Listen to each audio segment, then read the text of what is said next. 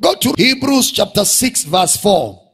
For it is impossible for those who were once enlightened and have tasted of the heavenly gift and were made partakers of the Holy Ghost if they should fall away to renew them again to repentance. That's actually the context. It is impossible. That is also one of the impossibilities of God. That is also one of the impossibilities of God.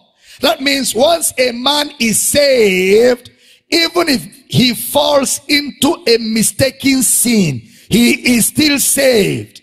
It's impossible for God to change. That's why the Bible says the gifts and callings of God are without repentance. The gifts and callings of God are without repentance. That is, God does not change his mind. Look at Hebrews 10 4. For it is not possible that the blood of bulls and goats should take away sin. It was not possible then. It is not possible now. Hebrews chapter 10 verse 6. In burnt offerings and sacrifices for sin, thou hast had no pleasure. Look at Hebrews 11 6.